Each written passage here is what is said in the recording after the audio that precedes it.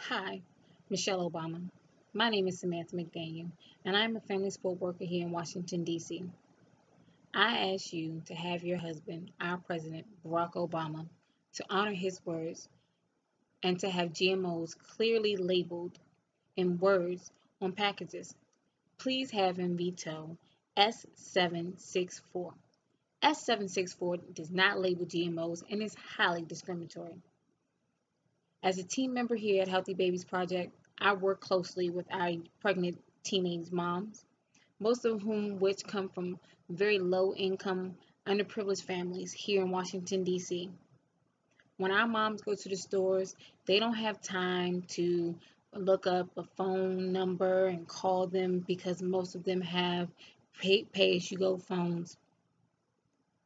The other set of moms don't have time to scan a barcode to go to a website because they're busy paying attention to their children.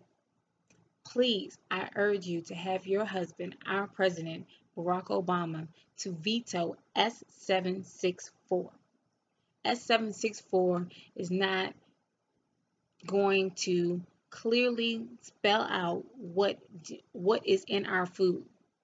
As a mother, I ask you, do you want to take time out of your grocery shopping trip to have to scan a barcode to know what's in your food, to have to stop and call a number every time you pick up an item because you're too busy watching out for predators who are preying on our children.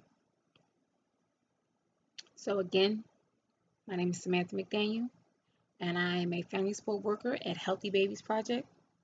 And I urge you to have your husband, our President Barack Obama, veto S764. Thank you.